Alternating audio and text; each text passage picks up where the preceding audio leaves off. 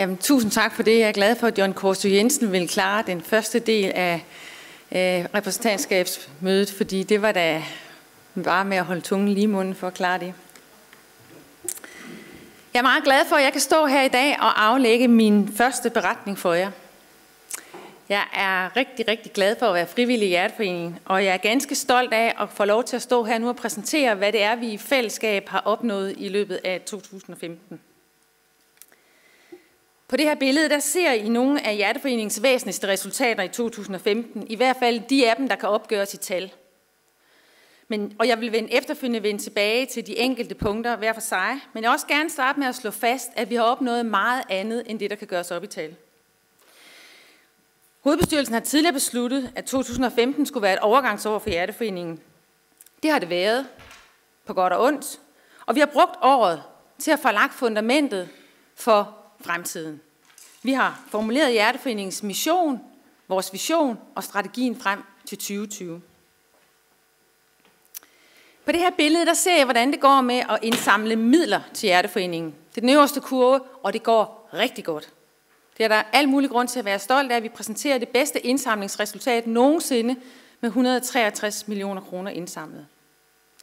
Den nederste kurve er jeg knap så stolt af, for den viser udvikling i antallet af nye medlemmer. Og der må vi sige, at vi står i 2015 stort set på det samme antal medlemmer, som vi gjorde i 13 og 14. Der er sket en opbremsning i antallet, antallet af nye medlemmer, og det er selvfølgelig ikke godt nok. Det kan være, det har noget at gøre med, at der i omkring 13-14 skete det ude i samfundet, at man begyndte at tale om, at der var nogle hjertelæger, der havde svindlet med forskningsmidler. Vi kan ikke udelukke, at det har haft betydning. Men vi ved også, at konkurrencen i markedet er stigende. Det er sværere at rekruttere nye medlemmer, og det er sværere at holde på dem, man allerede har fået. Det skal vi selvfølgelig forholde os til. Det har vi analyseret, og vi skal blive bedre til det. Vi har analyseret det, der hedder vores værvekanaler. Altså, hvad er det for en vej ind i Hjerteforeningen? Hvordan er det, vi skaffer os nye medlemmer for at blive bedre til at finde ud af, hvordan vi gør det? Og vi skal også blive bedre til at holde styr på de medlemmer, vi har. Vi får et nyt CRM-system. Ja, nu skulle man tro, at det her var et lægefagligt indlæg med sådan nogle trebogstavsforkortelser. Men et CRM-system, det betyder Customer Related Management System.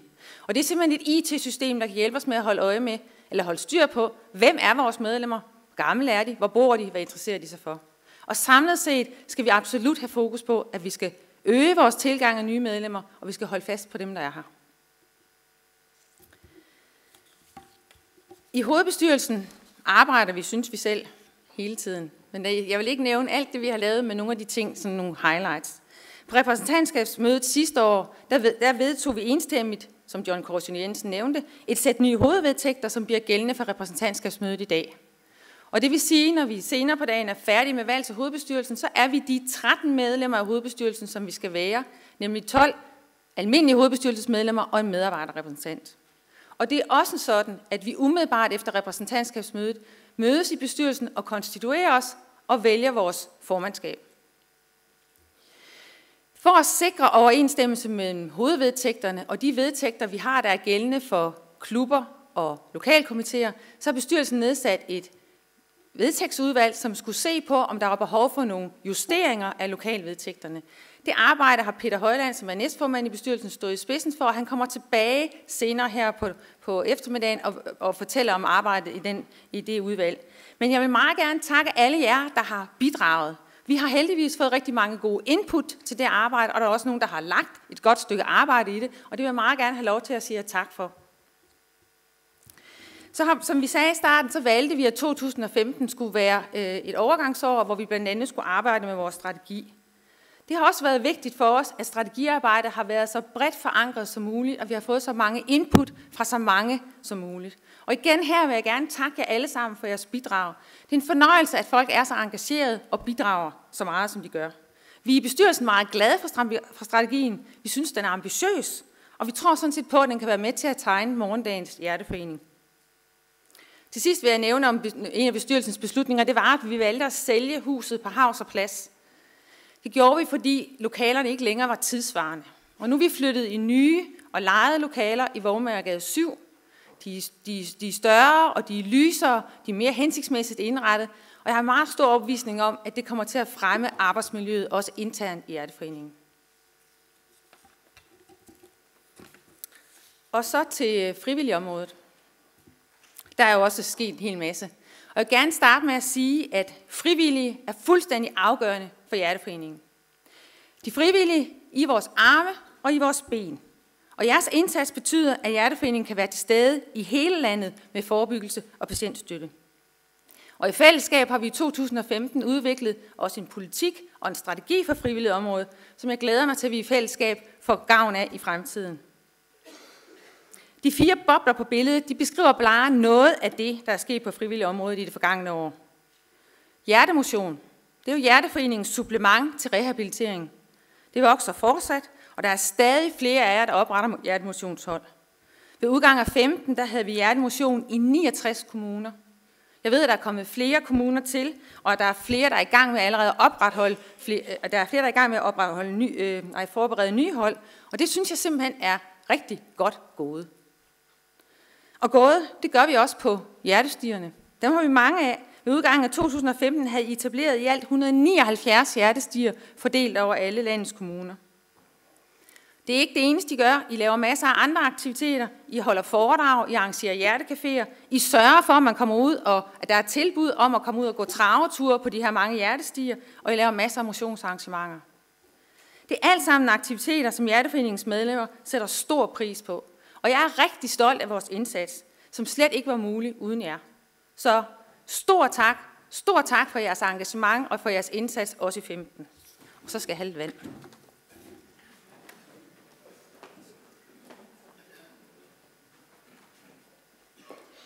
Beklager, Kim havde givet mig det, men jeg glemte at tage det med. Ja, og så lidt om Hjerteforeningens klubber.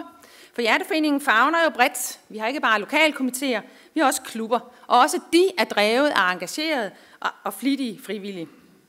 Vi har syv motionsklubber, som er for alle dem, der har lyst til at gøre en aktiv indsats for at forebygge hjertekarsygdom. Og så har vi tre landsdækkende patientklubber for særlige grupper af hjertekarpatienter. Vi har ICD-klubben, og nu ved vi jo alle sammen, hvad en ICD er. Men ICD-klubben er en klub for de patienter, der har en ICD, eller for deres pårørende, og den bidrager til at udbrede kendskabet til de her specielle pacemaker, som kan give stød.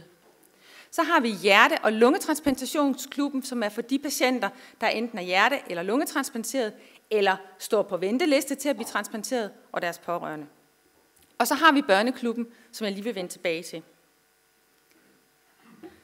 For det er sådan, at arbejdet for og med hjertesyge børn, hjertesyge unge og deres pårørende, det er et meget vigtigt område i Hjerteforeningen. Og derfor har vi også i 2015 vedtaget en børne-unge-strategi, som formulerer et fælles mål for Hjerteforeningen, inklusiv Børneklubben og Børnehjertefonden. Nogle har måske haft svært ved at skille de to ting ad. Børneklubben er en klub som de to andre, en klub for familier med børn, der enten er født med en hjertesygdom eller har udviklet en hjertesygdom. Og den bidrager til at lave netværk for børn og unge og deres familier, så de får et socialt samvær og kan møde andre, der er i tilsvarende situation.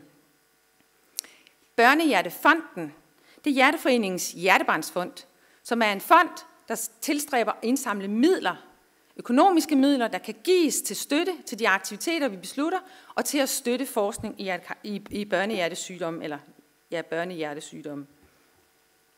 Derudover vil jeg sige på børnehjerteområdet, at i 2014 der i gang satte vi et fireårigt projekt med støtte fra blandt andre Egmont-fonden.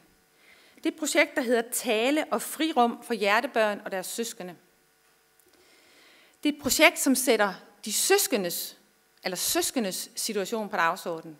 Som de fleste af os nok kan forstå, så kan det godt være, det kan godt måske være belastende at, at leve i en familie, hvor der er et hjertesygt barn. Ikke bare for barnet og forældrene, men måske også for de søskende, som lever i den familie. Og det vil vi gerne sætte fokus på. Og det her støtte sætter søskendes øh, situation på dagsordenen og sikrer, at de får støtte til at udvikle sig i deres børne- og ungdomsliv. Det sidste, jeg lige vil sige omkring børnehjerteområdet, det er, at der er sikkert nogle af jer, der har lagt mærke til, at der har været nogen diskussion om det, der hed samling af børnehjertekirurgien. Det er sådan, at der i Danmark fødes ca. 500-600 børn med en med en medfødt hjertesygdom, men en, ofte med en misdannelse af hjertet. Nogle af de hjertesygdomme har behov for at blive opereret. Altså for lavet kirurgi, så man lukker nogle huller eller flytter rundt på nogle skillevægge. Heldigvis er det sådan, at der er færre, der fødes færre børn med medfødt hjertesygdom. Og det vil sige, at der er ikke så mange længere, der har behov for at blive opereret. I Danmark har man hidtil tilbudt operation på sådan nogle små hjerter, to på to af landets hjertecentre, nemlig i Aarhus og på Rigshospitalet. Men fordi der bliver færre, der har behov for at blive opereret, så har man vurderet, at for at man fagligt kan blive ved med at holde det højeste niveau, og kirurgerne kan være så øvet som muligt, så skal man kun gøre det et sted. Og det er den proces, man har hørt om som værende samling af børnehjertekirurgien. Den har været startet af fagfolk, og Sundhedsstyrelsen har stået i spidsen for det, og man er endt med at beslutte, at det fremover skal foregå på Rigshospitalet. For familier og børn, der bor uden for Sjælland, så er det selvfølgelig træls, som det vil hedde på jysk, at man nu skal helt over på Rigshospitalet, for der er jo simpelthen længere. Sådan ville det også have været, hvis man skulle have været den modsatte vej.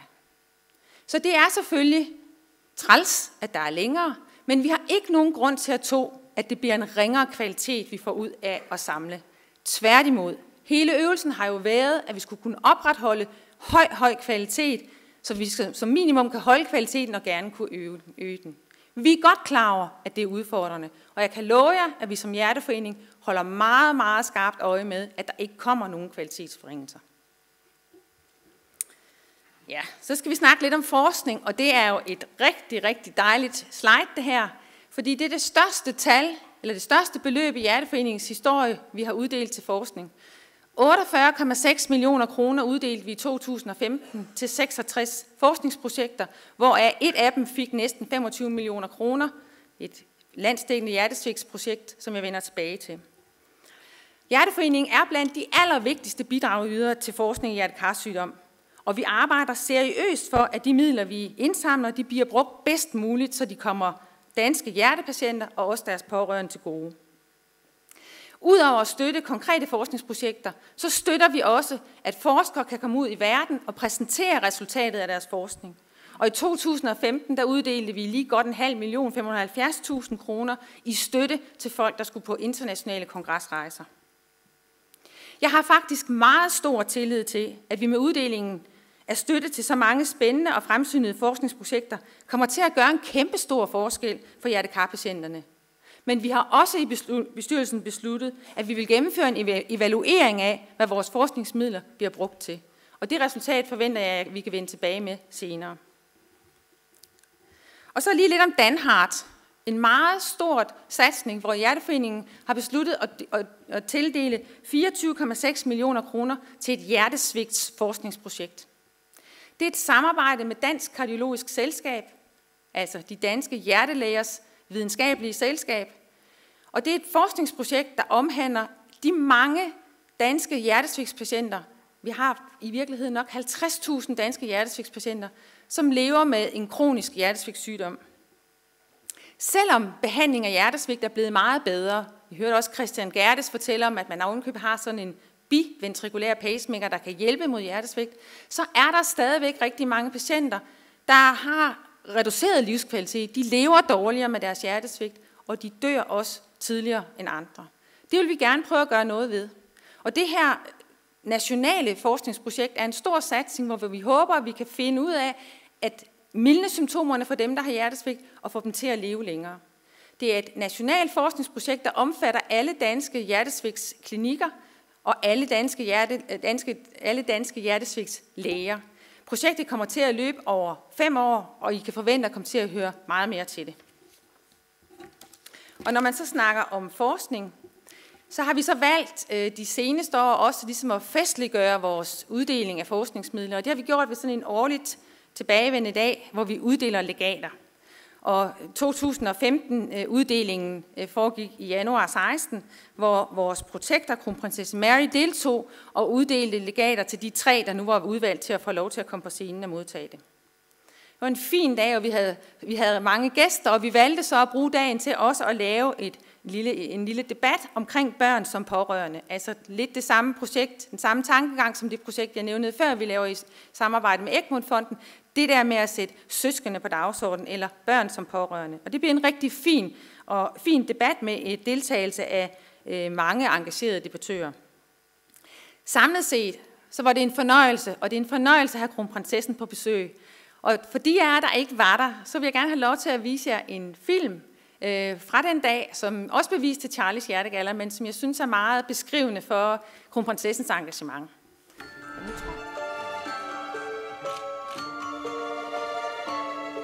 Kan du give hånden til prinsesse Mary i dag? Ja. Ja. Sammen med Sofie og Nikolaj.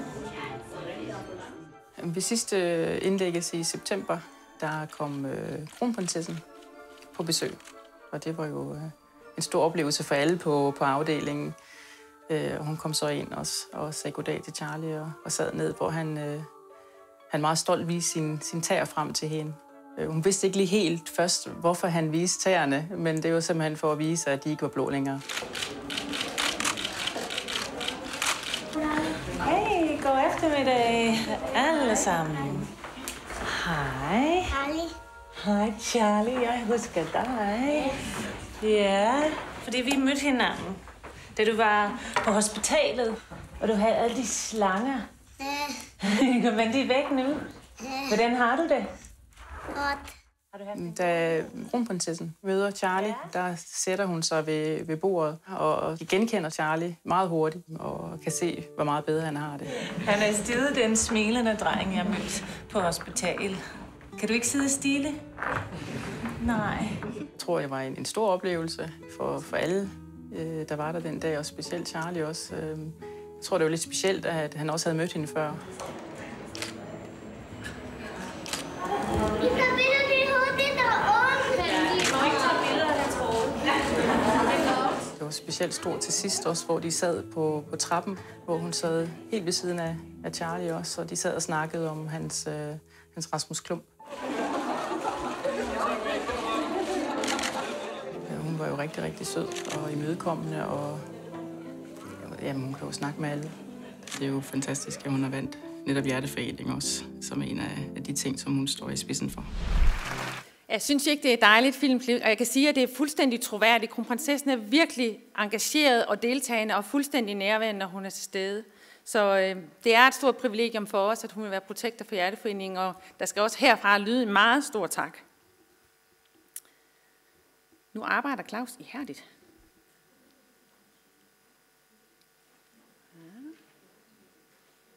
Jeg kan sådan set sagtens snakke uden billeder, det er slet ikke det. Men det kunne være, det var rart for jer. du, skal ikke, du skal ikke blive stresset, Claus. Nej, ja, jeg er med. Om du kan komme, om der sker noget. Sådan der.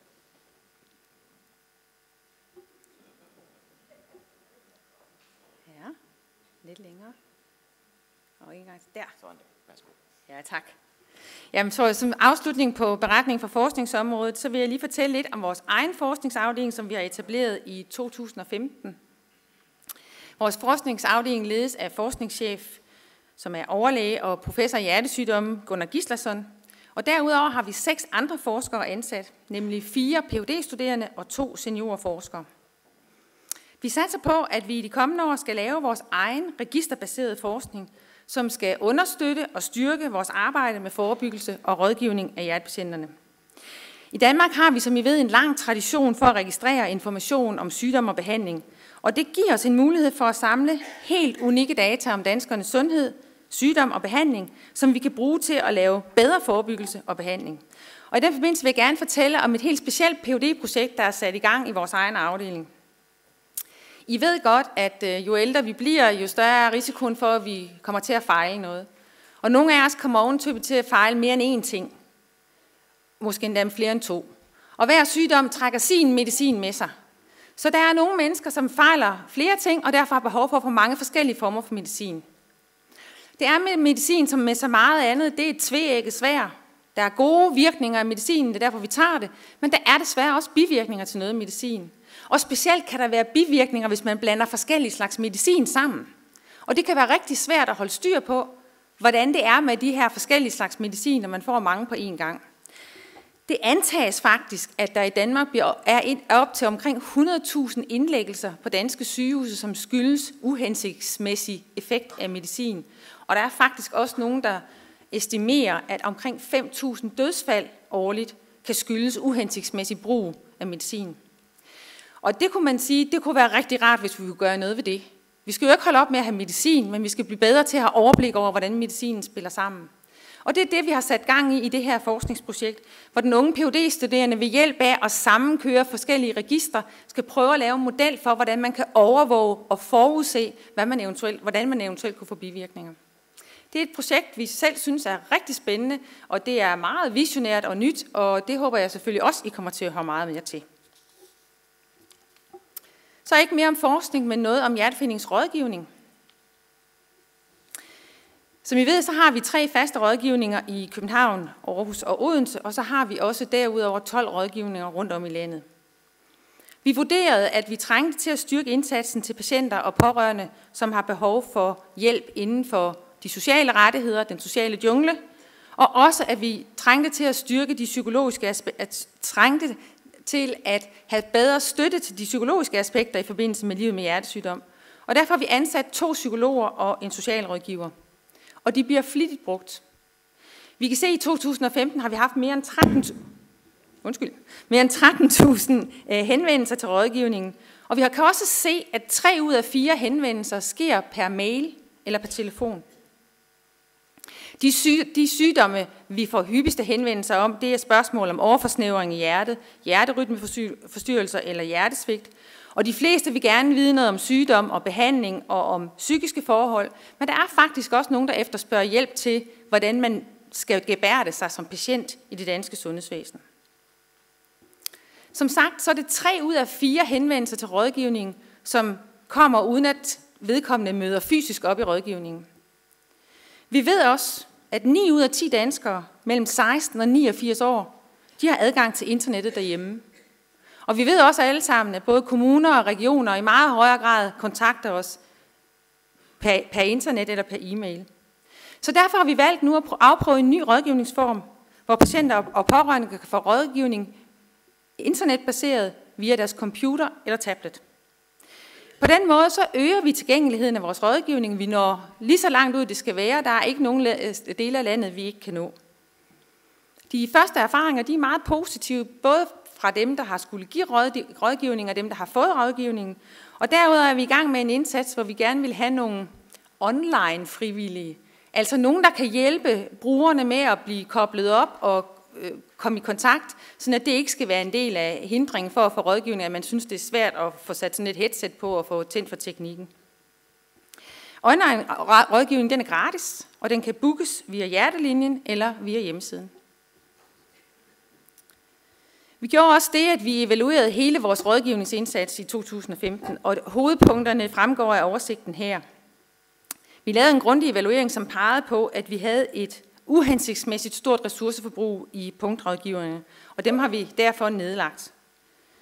Undersøgelsen viste også, at der sådan rådgivningsmæssigt var huller på landkortet, i specielt den vestlige del af Jylland og den vestlige del af Sjælland.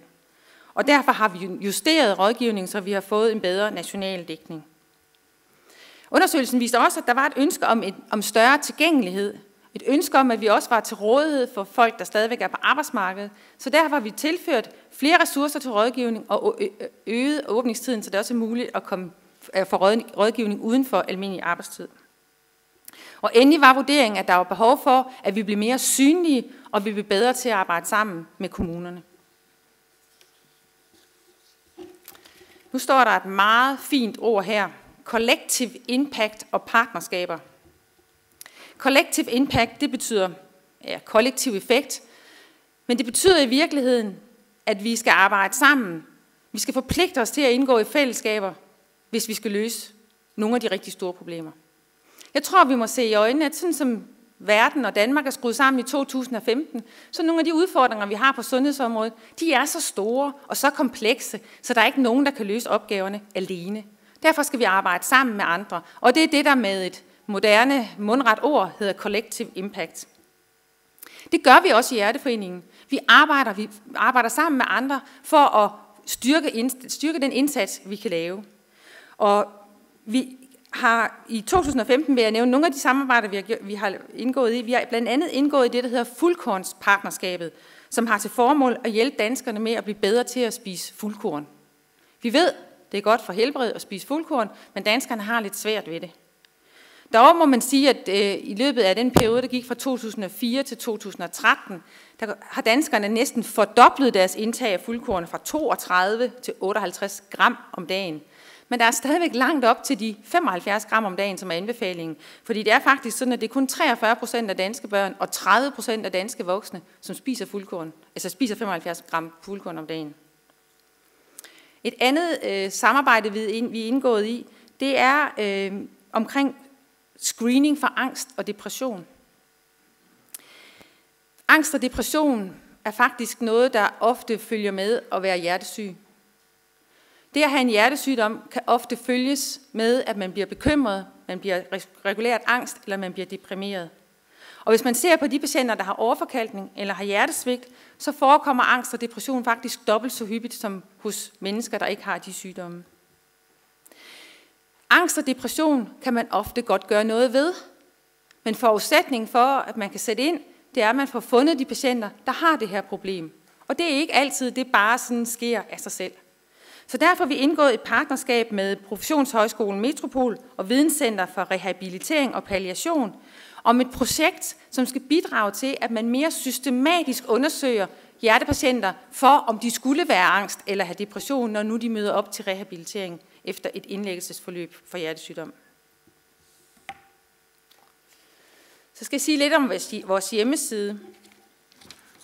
De af jer, der har været inde på hjemmesiden i løbet af 2015, vil have lagt mærke til, at den har ændret sig.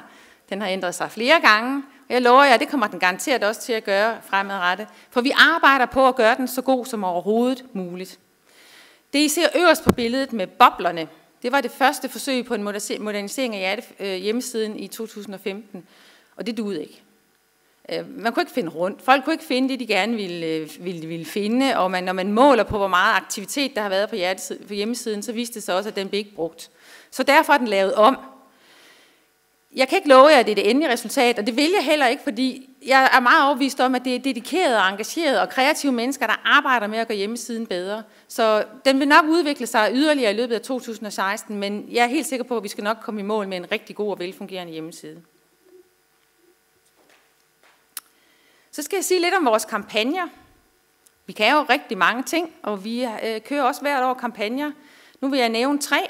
Øh, Elsk Hjerte-kampagnen, Charlies Hjertegala og vores landsindsamling. Lige siden 2007 har vi sat fokus på kvinders hjerter med den kampagne, der hedder Elsk Hjertet. Det er en kampagne, der har til formål at samle midler ind til forskning i kvinder og kvinders hjertesygdom. Og overordnet har ønsket været, at færre kvinder skal dø af en hjertesygdom. Kampagnen har som sagt løbet siden 2007, og i 2015 var vores specifikke formål med kampagnen at øge kendskabet til, hvem der egentlig står bag Elsk Hjertet-kampagnen. Hvis vi går over tilbage, så tror jeg, der var mange, der vidste, der var noget, der hed Elsk Hjertet. Men hvem var det lige, der stod for Elsk Hjertet-kampagnen? Det ved man godt nu. For hvis man går ud og spørger 10 danske kvinder, så siger 9, det er Hjerteforeningen. Og det er rigtig godt, fordi det er en af de ting, vi gerne vil. Vi vil selvfølgelig gerne øge vores synlighed, og vi vil også gerne have, at folk ved, hvem det er, der står bag de gode kampagner. Charlies Hjertegala har vi gennemført nogle år, og i 2015 holdt vi det i marts i Industriens Hus, og det blev sendt live på TV2 Charlie. Temaet var kvinder og hjertekarsygdom, børn med medfødte hjertefejl, hjertestop, hjertesvigt og forebyggelse, forskning og sundhed. Og de budskaber, vi solgte kampagnen på, det var, at hjertekarsygdom kan ramme alle. Hjertesygdom er alvorlig og potentielt livstruende, og du kan selv gøre noget. Jeg synes, det var en rigtig flot kampagne, jeg synes, det var et rigtig flot show, og det viste sig, at vi samlede 26,4 millioner kroner ind øh, til Hjerteforeningen, så det må man sige, det var rigtig flot. Og så vil jeg lige sige lidt om øh, landsindsamlingen. Den blev jo ikke gennemført i 15. Vi ved jo alle sammen, at den fandt sted her den 24. april 16. Men vi brugte rigtig meget tid i 2015 for at forberede landsindsamlingen. Og der var mange, der lagde rigtig mange kræfter i. Overordnet er vores formål, overordnet er vores håb jo, at landsindsamlingen den kan være med til at sætte Hjerteforeningen sådan for alvor på Danmarks kortet. At alle ved, hvem Hjerteforeningen er, og vi kan komme ud til en bred gruppe af danskere, som måske ikke lige havde opdaget, at vi eksisterede. Jeg synes, vi havde en lærerig og succesfuld gennemførelse af Hjerteforeningens første landsindsamling. Vi, har, vi havde arbejdet rigtig hårdt og rigtig ihærdigt, og det var første gang. Vi havde forventet, at vi kunne indsamle 2,6 millioner kroner, og at vi kunne få 2600 mennesker til at samle ind for os. Og det gik over al forventning, fordi vi havde faktisk 2900 indsamlere på gaden, og vi realiserede en indsamling på 3 en kvart million. Og det var endda uden at vores udgiftsniveau steg. Vi er ved at lave en grundig evaluering af landsindsamlingen, fordi vi skal selvfølgelig lære af den, og der er mange ting, der kan gøres meget bedre. Og det er vi gode til. Vi lærer af det, og så er jeg sikker på, at vi får en om muligt endnu bedre landsindsamling i 2017. Så lidt om vores politiske arbejde. Vi forsøger jo også at præge øh, politikerne, sådan at vi samlet set også kan gøre mange ting nemmere i Danmark, så vi måske kan forebygge, at vi overhovedet bliver syge. Og i 2015, der deltog Hjerteforeningen for tredje gang i folkemødet på Bornholm. Det finder sted hvert år i Allinge, og vi har vurderet, at det er en god platform for at komme i dialog om hjertesagen og danskernes sundhed. Da vi var der i 2015, der gennemførte vi to debatter, som vi selv arrangerede. Den ene var for at skabe opmærksomhed om angst og depression, og der havde vi stor glæde af, at vores ambassadør Peter Myging deltog og fortalte om sine personlige oplevelser med angst efter hjertestop. Den anden øh, debat, vi selv arrangerede, var om partnerskaber, om partnerskaber til at, til at mindske ulighed i sundhed, hvor blandt andre Karen Stær fra FOA deltog. Og så deltog, lavede vi, åbenbart, lavede vi også mange andre aktiviteter. Vi arrangerede fodboldfitness på, fod, på folkemødet i samspil med Dansk Boldspilunion og Center for Holdspil og Sundhed. Vi havde vores frivillige med for første gang. 19 frivillige deltog og skabte synlighed på gadeplan og talte med, talte med folkemødets deltagere. I alt var vi øh, repræsenteret i 14 debatter og engagement, arrangementer, og det, det, det spændte helt fra at deltage i en cykeltur til at indgå i debat med lægemiddelindustrien. Vi tager stadig igen i år. Om 14 dage er der folkemøde på Bornholm igen, og så tager vi det over og forsøger at præge debatten endnu en gang. Lidt mere om politiske resultater. Øhm, jeg vil fremhæve to ting fra 2015. Hurtig udredning af patienter med akut hjertesygdom og sammenhængende patientforløb. Modtagelse af akutte hjertepatienter det er et meget vigtigt område for Hjerteforeningen. Hvis man er syg og skal indlægges akut på mistanke om, at man fejler med noget med hjertet, så er det vigtigt, at man bliver indlagt det rigtige sted. Et sted, hvor man hurtigt kan modtage patienten, undersøge patienten, stille diagnosen og sætte behandlingen i gang. For det kan dreje sig om liv eller død. Akutte hjertepatienter er potentielt livstruede. Så det kan ikke nytte noget, at man har hospitalsafdelinger, som ikke er døgn med, øh, døgnet rundt er bemandet, og som ikke døgnet rundt er i stand til at tage vare på hjertepatienterne. For at være sikker på, at det nu også forholder sig sådan, så gennemførte vi i 2015 en landstækkende undersøgelse. Det gjorde vi i samarbejde med de danske hjertelæger, Dansk Kardiologisk Selskab, de, danske, de danske akutlæger, altså Dansk Akutmedicinsk Selskab, og så lavede vi en spørgeskemaundersøgelse blandt de hospitaler og afdelinger, som modtager hjertepatienter, for at høre dem, hvordan står det til. Det viste desværre, at der er klare mangler i det døgndækkende beredskab på udvalgte af landets hospitaler, og det er specielt i, yder, i yderområderne. Det er bare ikke godt nok. Det er simpelthen ikke godt nok. I et land som Danmark, der må man simpelthen der må man forvente, at alle kan få den samme gode behandling, uanset hvor man bor og uanset hvor man bliver indlagt. Undersøgelsen blev offentliggjort i radioavisen, og vi har været rundt og præsentere resultaterne for sundhedsministeren, for regionerne og for sundhedsordførende i Folketinget. Og vi har ikke tænkt os at give op. Vi vil fortsat arbejde for, at patienter med akut hjertesygdom de bliver diagnostiseret og behandlet uafhængigt af tidspunkt på døgnet, og uafhængigt af, hvor i landet de, finder sig, de befinder sig. Det er ikke okay med geografisk ulighed i sundhed. Som nogle af jer ved, er der også noget, der hedder hjertepakkeforløb. Det er en politisk besluttet plan for, hvordan og hvor hurtigt man som patient skal undersøges og behandles, hvis man tilhører eller er mistænkt for at tilhøre en af fire udvalgte hjertesygdomme. Hjertepakkeforløbene de blev implementeret i 2010, blandt andet efter pres fra os i Hjerteforeningen, og de er blevet monitoreret, altså målt på, i hver kvartal i snart tre år. Meningen med den her monitorering, det er, at man skal kunne vurdere, om pakkeforløbene fungerer efter hensigten. Desværre er den her monitorering aldrig kommet til at fungere tilfredsstillende, blandt andet fordi man ikke får registreret de her patientforløb. Og man kan derfor reelt ikke vurdere, om indsatsen, er, om, om, om indsatsen giver værdi, om den er pengene værd. I 2015 der har vi drøftet mulige løsninger på det problem med den mangelfulde registrering med snart set alle, sundhedsministeren, sundhedsordførende, danske regioner, kommunernes landsforening, Dansk Katalogisk Selskab, Sundhedsstyrelsen, og vi har selvfølgelig også udtrykt vores utilfredshed i medierne. Det har ikke ændret sig meget. Jeg vil sige, jeg synes, at hjertepakkerne i sig selv har været en succes, fordi det, at de er blevet oprettet, har gjort, at man har fået øget fokus på, at hjertepatienterne findes, og de selvfølgelig skal udredes. Men monitorering af hjertepakkerne kommer næppe til at fungere. Og det tror jeg, vi skal indse. Vi skal ikke løbe mere efter den bold. Så vi har i stedet for valgt at skifte fokus, og der vil derfor gerne øh, i gang sætte et større arbejde for at udvikle, hvad vi vil kalde en sammenhængende hjerteplan, og det vil jeg godt fortælle lidt mere om. Øhm, det er heldigvis sådan, at i Danmark, der overlever flere danskere deres hjertesygdom. Altså forstået på den måde, at det er ikke sådan, at man dør af sin hjertesygdom.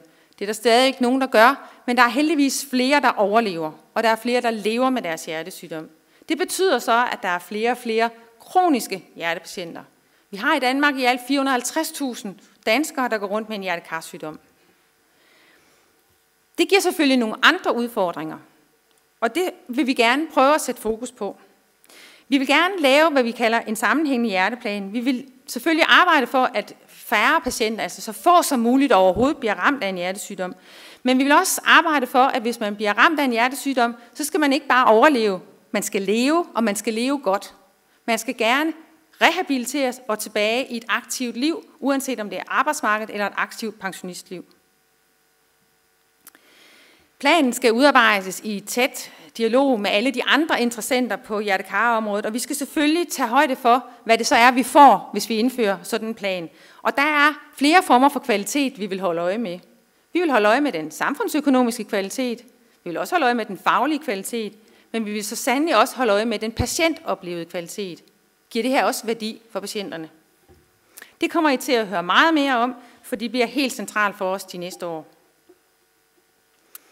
Og så er vi nærmere afslutningen, og så vil jeg gerne sige lidt om det, jeg synes er den nye begyndelse, nemlig øh, morgendagens hjerteforening. Som I ved, så har vi i gang sat en ambitiøs plan for at revitalisere hjerteforeningen, og i 2020-strategien så har vi sådan set ovenkøbet sætte tal på. Vi skal årligt have en 10% stigning i antallet medlemmer. Vi skal have en 10% stigning i indtægter. Og så skal folk på gaden vide, hvem vi er. Hvis man går ned på gaden i dag og spørger tilfældige danskere, så er det en ud af fire, der ved, hvem vi er. Det skal være mindst hver anden. Det er selvfølgelig ambitiøst, og vi skal også lægge os i selen for at nå de her mål. Og mange afdelinger i hjerteforeningen er allerede gået rigtig godt i gang. I fundraising-afdelingen har man blandt andet øje på, at vi skal have udvidet vores målgruppe. Vi har rigtig godt fat i de danskere, der er mellem 50 og 75 år. Prøv lige at kigge jer omkring. Men vi vil jo også rigtig gerne have fat i dem, der er under 50 år. Vi vil gerne både være attraktive og kunne tiltrække og tilbyde noget til mennesker, der ikke er fyldt 50 endnu. Vi vil også gerne have, at folk de ved noget mere om os. De skal ikke bare vide, at vi eksisterer, de skal også vide, hvad det er, vi står for, hvad det er, vi rent faktisk laver. Fordi så tror jeg, at der er mange flere, der har lyst til at være en del af fællesskabet, være med til at gøre en indsats, være med til at være medlem. Vi har en række kampagnekoncepter, som virker. Flere af dem er, flere, af dem er flere år gamle, som for eksempel Elske Hjertet, der fra 2007. Så det er jo vigtigt, at vi hele tiden formår at udvikle os. At vi hele tiden er skarpe og gør det bedre. Og vi skal også hele tiden finde, arbejde på at finde på nye og relevante kampagner. Vi er også gået i gang med at få udviklet det, der hedder en ny design guide, altså hvordan er det vores, blandt andet vores logo ser ud. Og nogle af jer bemærkede måske, at vi i forbindelse med landsindsamlingen ændrede en lille smule på vores logo. Vi prøvede af at gøre hjertet lidt større og foreningen lidt mindre. I kan se det her på slide. Ja. I starten af året har vi så også lavet en omfattende analyse af vores væsentligste salgskanaler og indtægtskanaler, altså hvordan er det, vi får penge ind i foreningen. Det er der kommet en meget ambitiøs og spændende kanalstrategi ud af, og vi skal nok i gang med nogle nye salgsinitiativer. Ja, så tilbage til strategien. Som I ved, besluttede vi i 2015-2020-strategien, og det gjorde vi efter en rigtig god proces, hvor vi i fællesskab drøftede og formulerede de otte faglige strategier, som 2020-strategien bygger på. Målet med strategien er, at vi skal blive større, vi skal blive stærkere, og der skal ske en markant vækst i antallet af frivillige medlemmer og indsamlede midler. Og for at vi kan nå dertil, ja, så vil I nok opleve, at Hjerteforeningen forandrer sig. Der er i gang, sagt en, i gang sat en række aktiviteter, formandsuddannelse, samarbejder, partnerskaber, for, som for eksempel Stressalliancen. Og det er alt sammen initiativer, som vi har sat i gang, og som jeg kan love jer for, at hovedbestyrelsen naturligvis følger op på og holder øje med, skrider frem som planlagt.